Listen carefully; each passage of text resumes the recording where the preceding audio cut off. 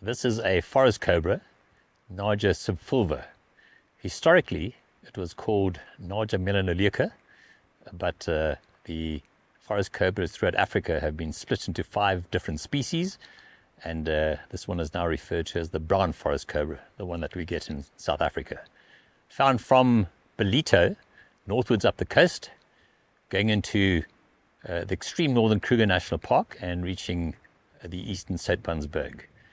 As the name indicates, it is a forest species. It does like very dense vegetations, uh, basks in the day, hunts in the day, and uh, very, very quick to disappear into dense un- undergrowth the moment it's disturbed. Also, a very good climber, goes high up into trees. Uh, in parts of Africa, these forest cobras, prior to shedding, will go high, high up into trees and they remain up there for a week or two until they've shed their skin. It feeds on rodents, birds, uh, toads, and other snakes, quite well known for, uh, for eating snakes.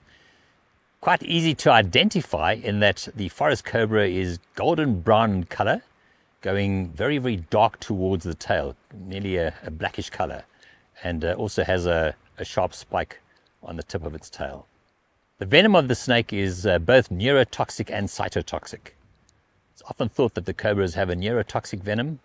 The dominant neurotoxins are in the black mamba and uh, in the Cape cobra.